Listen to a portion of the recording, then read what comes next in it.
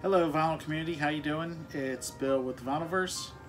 I have a contest response for uh, Mind Over Metals, Ron Haggerty's um, space contest.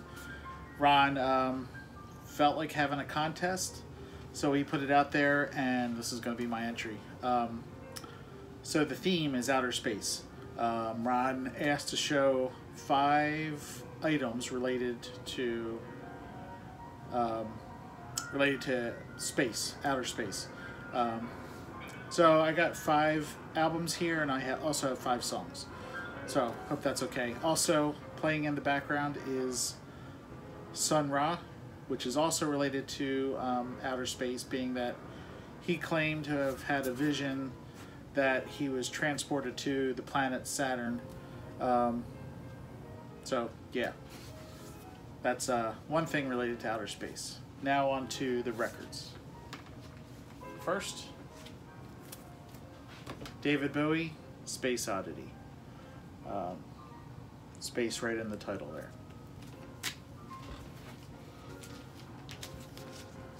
Gustav Holst, The Planets. Great um, classical piece.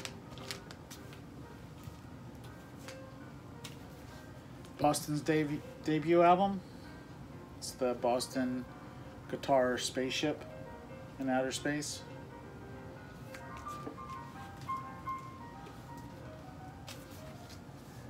Journey Escape.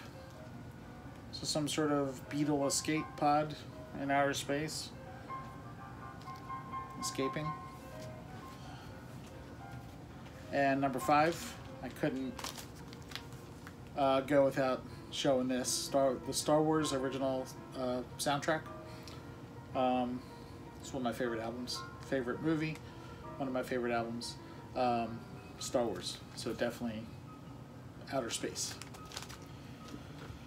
Now I also have five songs, uh, starting with the B-52s. The final song on this album is 53 Miles West of Venus. So Venus in outer space. David Bowie again, Hunky Dory. Um, the fourth track on side one is Life on Mars.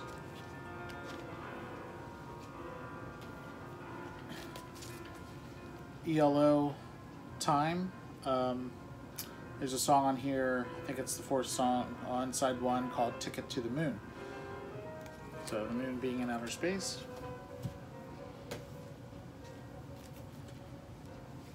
The, the Police. Reggatta de Blanc um, with the song Walking on the Moon. And last but not least, Pink Floyd's album Ummagumma has a live version of the song Set the Controls for the Heart of the Sun. So that's going to do it. Ron, thanks for the contest. Um, it was fun, fun uh, contest to look for uh, things related to space in my record collection. Um, good luck to all the other entrants, and um, hope everyone's doing well, and I'll talk to you again soon. Take care, everyone.